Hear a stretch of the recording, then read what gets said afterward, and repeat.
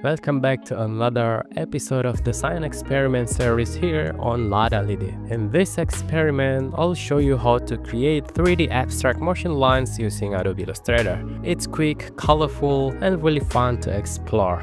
This time experimenting with lines and more complex shape to push the results even further. Let's jump in. To start, I'll need a color palette. Head over to color.adobe.com. The fastest way to make a palette is by extracting color from an image. Go to Create tab, Extract Theme. I'm using an image I generated in Adobe Firefly and it gives me a nice set of vibrant colors. You can tweak this result, change the mood, or even adjust each color. Once I'm happy, I rename it and save it to my libraries. Now let's switch to Adobe Illustrator.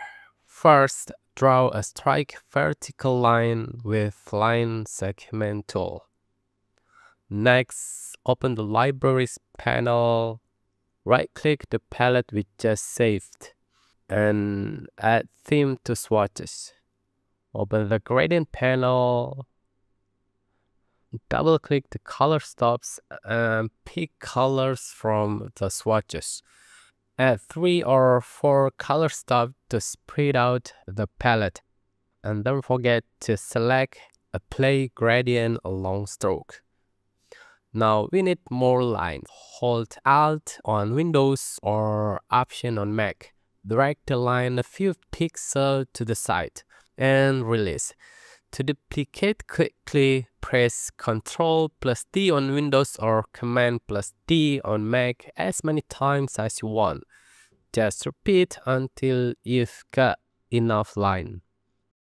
Here comes the fun part. Select the pencil tool. Before drawing, just double click it and set the fidelity one step towards smooth. That way your curves come out cleaner now just draw a flowing curve over your lines. Select everything, go to Object, Envelope Distort, Make with Top Object. And instantly, all those lines bend and flow into the curve you drew. To finish it off, I'll make a rectangle in the background. Open the gradient panel, and use freeform gradient for a quick colorful feel. The cool thing is, the more complex your curve shape, the wilder the result. It's always a surprise and every try gives you a unique abstract line design. So what do you think of this experiment? If you enjoy it, don't forget to like, comment and subscribe to Ladalidi for more design experiments like this. Keep creating, keep designing and let's create together. I'll see you in the next Ladalidi video.